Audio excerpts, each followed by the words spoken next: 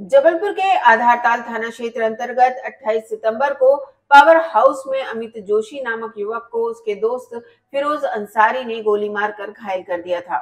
इसके बाद पुलिस ने फिरोज अंसारी को पूर्व में गिरफ़्तार कर लिया था।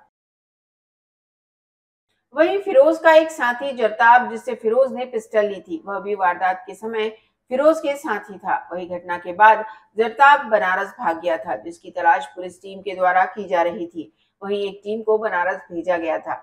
पुलिस ने बनारस से जरताप को गिरफ़्तार करते कट पुलिस ने बनारस से जरताब को गिरफ़्तार करते हुए उसके कब्जे से पिस्टल और कारतूस जब्त किए हैं। वहीं पुलिस अधीक्षक ने बताया कि अमित और फिरोज गहरे दोस्त थे, लेकिन अमित के द्वारा फिरोज को उसके लिए किसी लड़की से बात करने बार बार फिरोज को कहा जा रहा था। इस बात को लेकर विवाद इतना बढ़ा कि फिरोज ने अमित जोशी को गोली मारकर घायल कर दिया।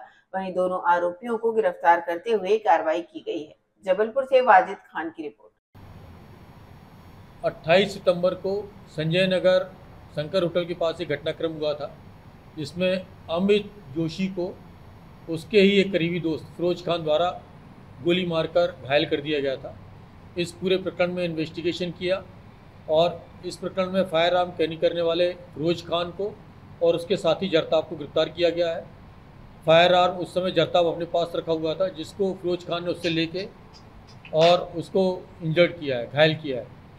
उसमें आरोपी गिरफ़्तार हो गया है और मामला जो सामने आया है वो ये है कि अमित जोशी किसी लड़की से बात करने के लिए फिरोज खान को इंसिस्ट कर रहा था और उसको लेके बात बिगड़ी इनकी और आपसी दोस्त होने के बावजूद इन्होंने उसको घायल कर दिया।